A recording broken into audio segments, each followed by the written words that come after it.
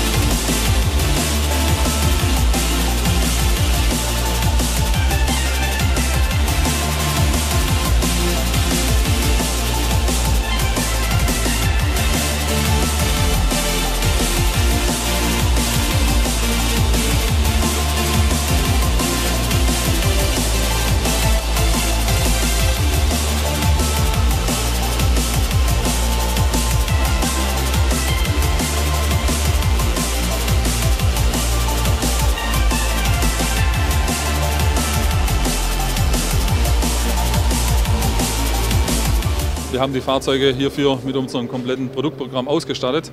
Das fängt an Dachlampenbügel, Bumpers, Bullfängern, Radzubehör oder sonstige Auftritte, aber auch äh, Arbeitsplattformen. Äh, ganz interessant ist auch, dass wir bei einem Typ unsere Pulverbeschichtung eingesetzt haben. Das heißt, da haben wir alle Teile noch komplett gepulvert in Strukturpulver.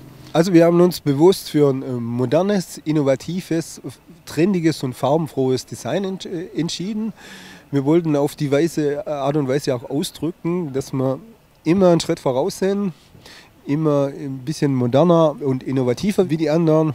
Natürlich möchten wir uns auch bei den Herstellern und bei den Händlern bedanken, die uns die Fahrzeuge zur Verfügung gestellt haben und uns die, äh, auch die Erlaubnis gegeben haben, die haben die Fahrzeuge nach unseren Vorstellungen zu gestalten und auch damit einverstanden waren, dass wir ihre Corporate Identity gebro gebrochen haben. Weil man sieht ja, manches Logo ist doch ein bisschen verfremdet in der farblichen Darstellung, aber es passt wiederum hervorragend zu den Trucks und es gibt ein, äh, ein schönes Gesamtbild. Musik